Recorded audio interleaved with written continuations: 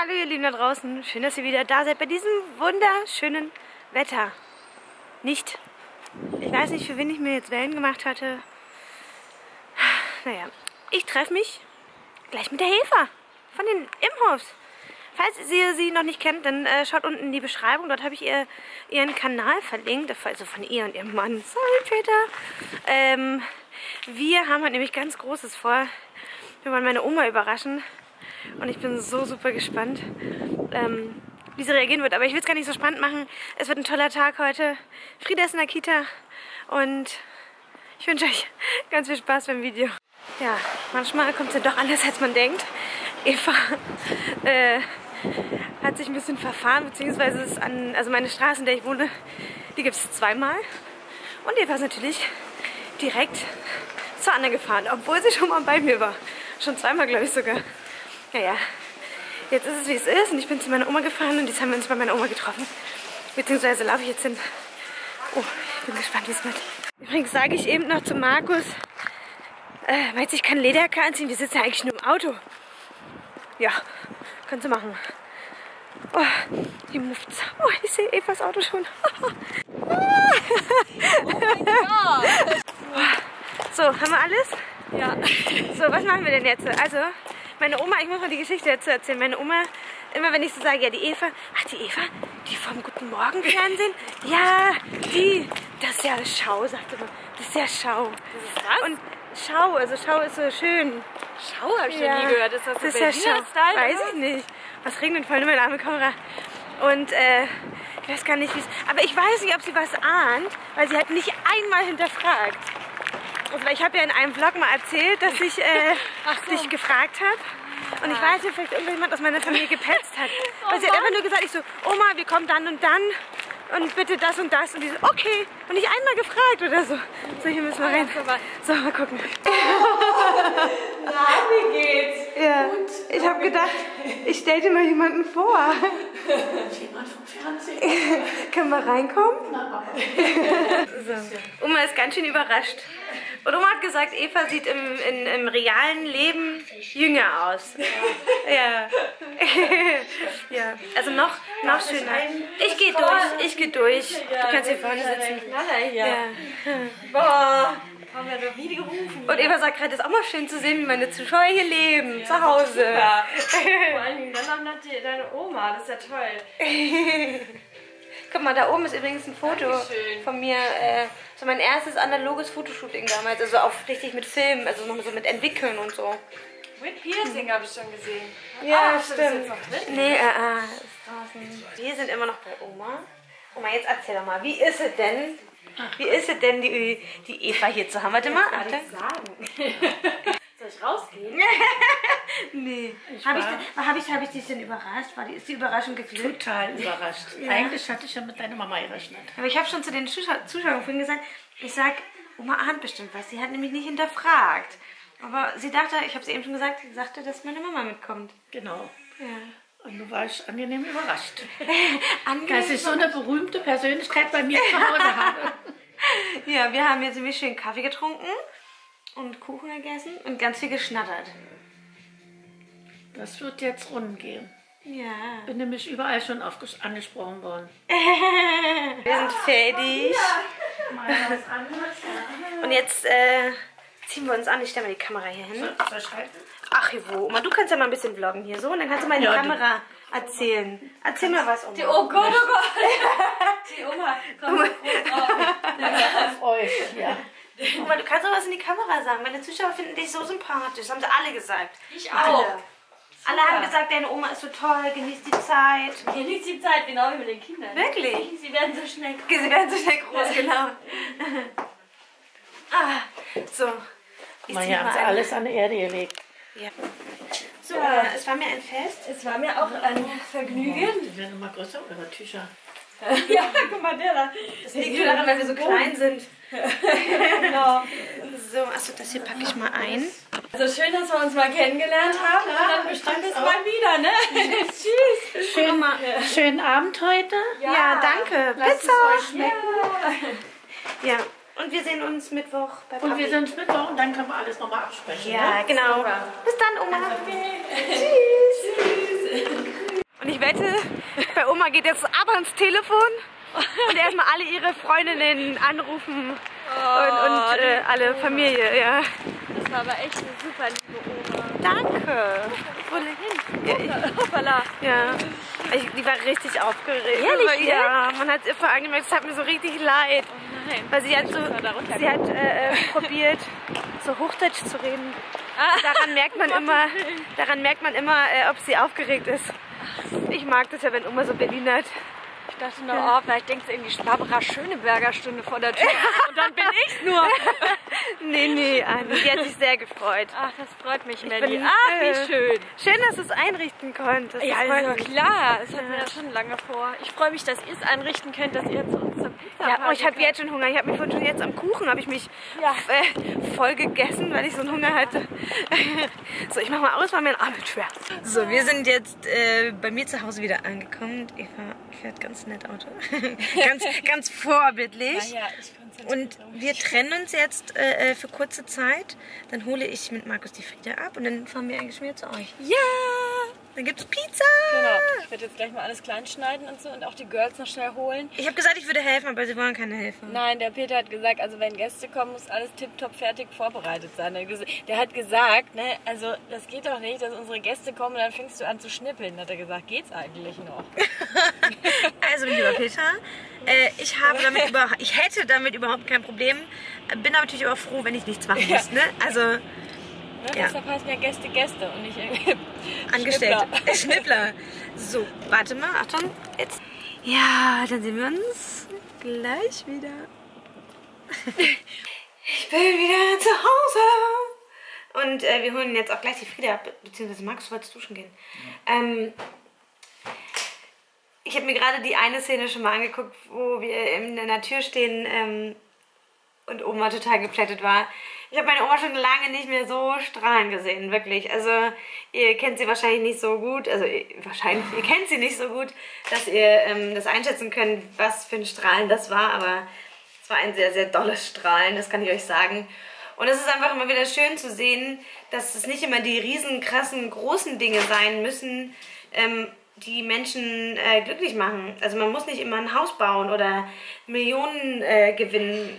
Es können auch einfach nur, nur sein, dass man seiner Oma jemanden vorstellt, den man kennt. Ähm, deswegen, ich habe es beim letzten Mal schon gemacht und ich mache es jetzt auch nochmal. Wenn eure Oma noch am Leben ist oder euer Opa oder irgendjemand, den ihr sehr, sehr schätzt und sehr lieb habt, dann nutzt jetzt die Chance und die Möglichkeit oder den Reminder und ruft die an, schreibt ihnen oder lasst sie wissen, dass, sie an sich, an, dass ihr an sie denkt. Ähm, das machen wir viel zu selten, gerade in der heutigen Zeit. Ähm, ich habe auch gemerkt, dass gerade Anrufen meiner Oma immer viel bedeutet. Für uns sind das vielleicht fünf Minuten und wenn es überhaupt fünf Minuten sind. Man kann auch einfach nur für 30 Sekunden anrufen und sagen, Oma, ich wollte dir nur sagen, ich denke gerade an dich, ich bin unterwegs, bis dann, tschüss. Wisst ihr, wie ich meine? Ähm, ja, und ich hatte das ja im letzten Vlog schon erwähnt gehabt. Ähm, ich fahre mit Oma Aida und zwar geht's los Anfang März. Und äh, wir freuen uns sehr, sehr, sehr, sehr doll. Ähm, und zwar fahren wir mit der Aida Prima ähm, die Hamburg Metropolentour. Und eine Woche. Ich habe eine Veranda-Komfortkabine gebucht. 699 pro Person. Ähm, Anreise mit, der, mit einem Flexbus und Flexibus. Und dann vom Hauptbahnhof gibt es einen Shuttle. Too much information, I'm so sorry. Ähm, und ja, ich freue mich auf die Zeit. Äh, jetzt wird die Frage kommen, ob Frieda mitkommt. Wir wissen es noch nicht. Ich habe sie erstmal mit eingebucht. Ähm, und wenn wir sehen, dass der Markus keinen Job reinbekommt, dann ähm, bleibt die Frieda hier bei ihm, weil dann äh, nutze ich die Chance, mit meiner Oma mal alleine was zu unternehmen. Und wenn Markus einen Job reinbekommt, ähm, dann nehmen wir sie mit. Also ich weiß, dass ihr das auf jeden Fall gefallen wird. Ähm, aber ich glaube, viele Mütter unter euch können mich auch verstehen, dass ich mit Oma noch äh, ein bisschen Zeit verbringen möchte. Äh, auch wenn ich meine Tochter abgöttisch liebe und ich glaube, das tut jeder. Jeder liebt sein Kind. Ähm, aber so ein bisschen freie Zeit ist auch toll, vor allem mit seiner Oma zu verbringen. Ähm, ja, so. Ähm, ich arbeite jetzt noch ganz kurz was und dann äh, holen wir die Frieda ab und dann fahren wir eigentlich schon zu Eva. Und dann sehen wir uns gleich wieder. Oma. Und dann hat Eva sich so neben sie gebeugt und äh, gesagt, also mit Oma so geredet und Oma so, ja, und äh, jetzt hat man hier so eine Berühmtheit zu Hause. Und Eva so, oh, jetzt hätte ich ja glatt rot. Ah, das auch ganz niedlich. Aber da sieht man mal wieder, das sind halt die kleinen Sachen, die einen glücklich, die andere Leute glücklich machen, weißt du? Ja. Das ist so. Ich habe gerade in der Dusche auch schon überlegt, jetzt hast du für, für deine Oma sind ja die, ist ja so die, die letzten und nächsten Wochen auch so ein volles Programm, ne? So irgendwie Ja. Eva kommt vorbei, du warst mit ihr in der Stadt und hast dann mal andere Restaurants ausprobiert. Ja. Jetzt Vater mit der Aida. So. Ja, vielleicht blüht sie ja auch nochmal so richtig auf. Und, äh, so, ähm, wir müssen jetzt die Pakete noch zur Post bringen, weil eigentlich sollte der Postbote heute kommen. Eigentlich sollte er Freitag schon kommen, Freitag kann man nicht. Ähm, ja, jetzt müssen wir es zur Post Was bringen. willst du ein Ladegerät mitnehmen? Das wäre super, glaube ich. So. Der kommt da rein. Zeig mal, nee, andersrum. Der kommt da. Der Papa. Und der Außen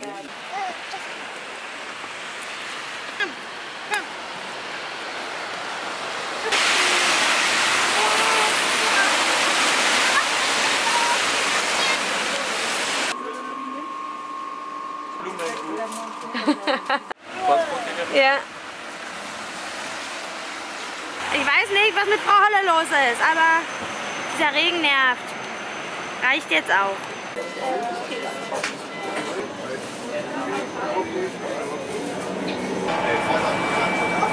Wir sind bei Eva und es wurde gerade dieses, oh Moment, wir müssen vloggen. Ah. Also, äh, darf ich vorstellen, den Peter? Leider, leider in der Unschärfe, so, jetzt. Ey, mach mich scharf. Na, jetzt bist du scharf und die Eva auch. Und Markus, Wohl sein. da ist auch. Achso, ich Stoß Muss mal an. sein, ich muss anstoßen. Prost. Nicht überkreuzt. Schön, dass ihr da seid. Ja, es hat endlich mal geklappt mit der Pizza. Ich will gar nicht sagen, wie halt lange, nicht wie lange äh, Ja. wir schon einen, einen gemeinsamen Termin suchen, um Pizza zu backen. Da ist er übrigens. Halleluja! Jetzt kriege ich einen Claim. ja, so, ich muss jetzt mal. Jetzt, jetzt erstmal Pause. Hier, Lilly, nicht den Vorhang runterreißen, bitte. Warum nicht? Ja, weil- So, äh, und wer moderiert das Ganze? Jetzt kommt die berühmte Pizzahand her. Das ist äh, das ganz normale äh, Pizza halt, ja. Boah, Willst du, willst, du, willst du ein bisschen Insider wissen? Ja, Okay, ja. Also der Teig, also ganz, ganz, ganz normaler Pizzateig, besteht aus äh, fünf, äh, ein Kilo Mehl, ein ähm, Würfel Frischhefe, ähm, so ein, ganz wichtig ist äh, so ein Esslöffel Olivenöl und ein Esslöffel Salz. Und das machst du aus dem Kopf oder hast du dann ein Rezept? Nö, das, das war's auch schon. Mehr kommt da gar nicht rein. Das musst du dann so richtig kneten zu einem Teig ganz, ganz lange und dann muss der sechs äh, Stunden lang gehen. Dann musst du ihn, ähm, das werden sechs äh, Pizzen draus, musst du ihn in sechs kleine Portionchen teilen und dann nochmal ein bisschen kneten und dann nochmal drei Stunden gehen lassen. Und dann ähm, geht's los. Wichtig ist, dass der Teig ein bisschen salzig ist. Dass er also im Prinzip alle, alle Komponenten bei der Pizza müssen für sich immer schon so einen kleinen Geschmack haben. Ne? Verstehst du? Also der, Der der, schmeckt, ne? Genau. Die, der Okay. Pizzateig ist also ein bisschen salzig und genauso wie diese Tomatensoße, da macht man nicht einfach nur so, so Tomatensoße drauf, sondern man macht halt so ein Sugo. Ich esse besser, statt ich koche. Sugo. Also, ähm, Guck mal, hier, ihr wisst jetzt, wie es geht, Leute. hier kochen auch die Männer. Und falls ihr es noch nicht wisst, äh, dann guckt einfach auf den Kanal von, von den Immos und dann haben sie es, glaube ich, mehrere Male schon Was ist, erklärt. das dann, was ist das denn für ein Ofen? Was ist das denn für ein Ofen? Das wurden wir auch gefragt. Toll, dass du fragst. Das ist ein original Pizzaofen. Bei, einer, bei einer richtigen äh, italienischen ähm, Standofenpizza brauchst du natürlich auch eine entsprechende Temperatur. Und die kann so ein Backofen natürlich ein ganz normaler nicht leisten. Deshalb brauchst du einen Pizzabackofen, der bis zu 400 Grad von oben und von unten macht. Das ist ja ein Zufall, dass genau so ein Ding hier steht, oder? Also ich meine, das ist ja erleichtert alles um einiges hier. So Eva, darf ich Elsa sein? Anna. Aber guck mal, du hast ja schon ein Einhorn. Oder ich, Ja, deine, deine Rolle ist schon äh, auf jeden Fall bestimmt. oder ich bin Olaf. Ne? dem Ja. Was? Äh, bin ich? Christoph. Sven? Du bist Sven, ja. Ist das das Rentier, Sven? Ich glaube, oder? Das Pferd. Gibt es ein Pferd? Wer, wie ist der Pferd vom, vom Gibt doch ein Pferd, oder? Ja. Verwechsel ich das jetzt mit Rapunzel? Ja, ich glaube, du das ist ein verwechselst das. Rentier oder Das ist ein nicht? Rentier. Oder ein Elch? Ja, irgendwie sowas. Wir belassen es einfach bei Aber Elch. was heißt der Typ von dem Elch? Christoph. Was? Das ist eine Pizza, aber die ist noch nicht ganz fertig. Was hast du gerade gesagt? Was möchtest du denn trinken? Ich habe, du hast mir eben gerade mein Glas gefüllt. Ja, wir haben doch schon Pizza. So, lass uns einfach schon essen. Nee, weiß.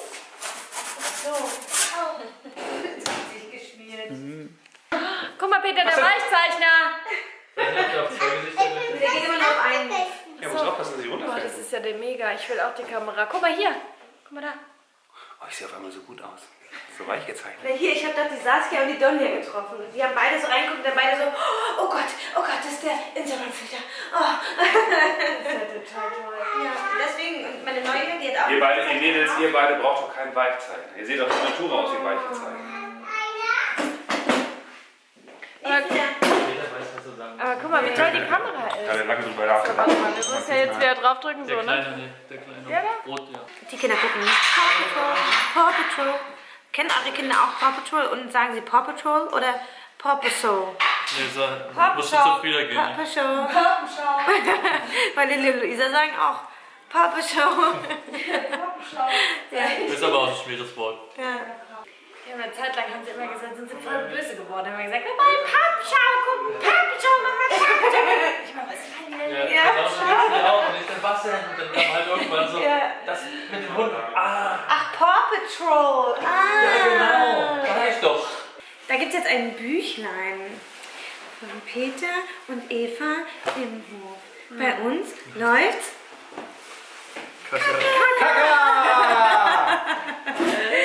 Ja. Ja. Und, ne, ganz wichtig, scheitern als Eltern aber richtig. Wir haben uns vorhin im Auto schon unterhalten darüber und ich bin richtig gespannt. Und ich werde das Buch äh, Markus auch mit auf AIDA nehmen. Ja, ich, werde ich lesen. Und abends vorlesen. Ja, genau. Einschlafen. na hoffentlich läuft es dann nicht kacke. bei uns. Ja. Sondern, Nee, aber das sind so Geschichten, ne? also wir haben ja festgestellt, ne, da dass, äh, ja, ja, ich habe mein ganzes Gehirn da ausgesaugt. Ähm, gibt ja so Themen, über die Eltern nicht so gerne reden, aber wenn man es einmal so anspricht, ne, dann sagen alle so, ah, ja, ah, stimmt, bei uns ist es genauso. Also wir haben immer gedacht, ne, man sieht ja vor allen Dingen auch im Kindergarten immer so, hat man ja das Gefühl, bei allen anderen läuft super. Nur die eigenen Kinder laufen immer in zwei verschiedenen Socken rum. Ne? Äh, wir vergessen immer regelmäßig Handschuhe und Mütze und so weiter. Ne? Also wir haben irgendwie ständig das Gefühl zu scheitern. Und bei den anderen läuft es immer toll. Und dann haben wir gedacht, wir, wir schreiben das mal auf, ne? so diese ganzen Geschichten, wo wir mega gescheitert sind und wie wir dann aber da eine Lösung gefunden haben. Und ich glaube, viele fühlen sich leichter, wenn sie es lesen. ja, bin- jetzt, da passt ja gerade. Ich habe instinktiv die richtige Seite aufgeschlagen. Notruf an die Flaschenfee. Ja, ja, wir müssen nicht zeigen. Ja, übrigens, also äh, äh, ähm, Eva signiert das Ganze jetzt. Ne? Also einmal für mich natürlich. Und äh, Eva war so nett und hat. Ähm, Für mich ist nicht. doch für, Ihr müsst euch Ihr dürft noch eins, äh, noch eins verlosen. Nein, äh, die beiden, Markus, jetzt zeig doch mal. Die beiden äh, äh, verlose ich an euch, wenn ihr möchtet. Also, wenn ihr da Bock drauf habt, dann schaut jetzt mal in die Infobox. Dort habe ich die alle Teilnahmebedingungen äh, hineingeschrieben und äh, guckt auf jeden Fall mal auf dem Kanal von Eva und äh, Peter vorbei. Da gibt es äh, viel halt, die haben halt Zwillinge. ähm. Und einen Pizzaofen. Und ein sehr leckerer, äh, also gut, der Pizza ist nicht lecker, aber äh, die Pizza, die da rauskommt, ja. Also schaut auf jeden Fall vorbei und lasst einen ganz lieben Gruß von mir da. Oh ja, bitte. Genau. Oh, mit K, Markus, oder? Oh, Oh, Schreibst du falsch. nicht mit C? Doch. doch. Tudum. Nur die echten Markus lernen mit C geschrieben. Guck mal, mach, mach ein C draus. Ein großes C. C. Das sage ich auch mal wieder. Einfach machen und immer wieder auf dein Gefühl. Weil immer, auch wenn ich mich jetzt zurückerinnere, egal in welcher Situation, meine Bauchentscheidung war immer die richtige. Ja, ob es auch jetzt, ob es jetzt ins Krankenhaus, gehen, ne? genau, ins zum Arzt, ob es auch in der Schwangerschaft schon war. Immer wenn ich wirklich ein schlechtes Gefühl hatte, war auch immer irgendwas. Aber wenn ich sage, na gut, eigentlich Ja, laut Ratgeber ist es jetzt eigentlich, müsste ich noch so und so. oder ist das Ja, auch Quatsch? nee, also immer, Bauchgefühl ist immer wichtig. Ja, und apropos Schwangerschaft, was mich auch so wieder nervt hat, das beginnt ja mit der Geburt, ne? Und ich glaube aber, es beginnt mit der Geburt, die endet mit der Geburt. Das Kind beginnt mit der Geburt. so reflektiert auf die Schwangerschaft und so. Und ich fand es auch immer so blöd, dass einem da schon immer Leute so ungefragt Tipps gegeben haben. Kennst du das auch? Das macht man nicht. Das macht man also nur bei schwangeren Frauen kommen plötzlich Leute an und, und geben einem irgendwelche Tipps. Ich habe das Gefühl, plötzlich, da, jetzt dürfen sie mal. Oder, oder gerade in den Bauch. Das ist wahrscheinlich so, als wenn du einen Hund hast. Ne? ja, alle streicheln jetzt mal den Hund. Also, oh, was ist das für eine? Und ich finde, wenn man fragt nach Tipps, ist ja super, ne? Aber Micha, ich fand das krass. Bei uns war es vor allen Dingen mit Zwillingen. Doppelt Waren ja so ganz viele so, oh, euer Leben ist zu Ende. Oh, Zwillinge, oh Gott, ne? Und ich dachte immer so, oh, ist das jetzt wirklich so schlimm? Und dann, ich dachte immer, Ja, ist es. es ist so schlimm, aber. Und dann kommst du irgendwie nach Italien und dann sagen alle, oh, Gratulationen! Nur- nur Und zwei? zweimal, Oh, bitte mehr Kinder machen und so. Und das ist krass. Ich fand es echt, äh, so diese Erfahrung zu machen. Ja, Das ist krass, in Italien ist es nochmal anders, ne? Mit ihren Großfamilien. Ja, in Italien. Als wenn die alle Zeit haben, oder? Bis Aber ja, aber das Krasse, auch in Italien sind die Kinder immer so eher mit dabei. Ne? Also, Ja, ja, das stimmt. Ich bin echt- dazu mitgezogen. So das, das fünfte kommt dann einfach nur noch unterm Arm. Ja, so da, das Lustige ist, ich glaube, da ist halt, entspannt. die Kinder sind auch nicht lauter als die Eltern. Deswegen, Genau, da ist wenn die so- essen, dann ist da, Ja, sind die Erwachsenen lauter. So, oh, hier sehen meine Haare halt so lustig aus. Äh, ich habe die Bücher jetzt fertig bekommen. Also eins ist für mich. Du hast Zwei, nicht zwei darf ich drinsteht. Soll ich mal gucken? Soll ich mal gucken, was drin steht? Oder ist das eine Überraschung? Macht man das als Überraschung? aber nicht Finde ich so gut. für euch, ne? Nee. Lieber Zuschauer. Soll ich bei uns schon gucken?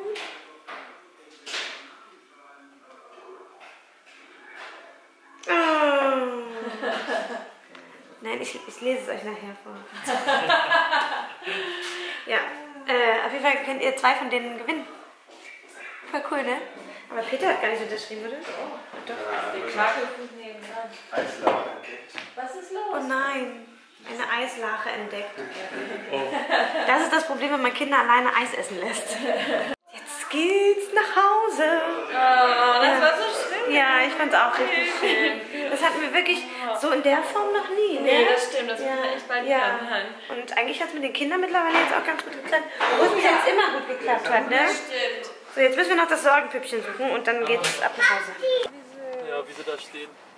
Na denn, ich glaube, wir haben alles, wir wohnen hier nicht so weit auseinander. Guck mal, sie winkt doch.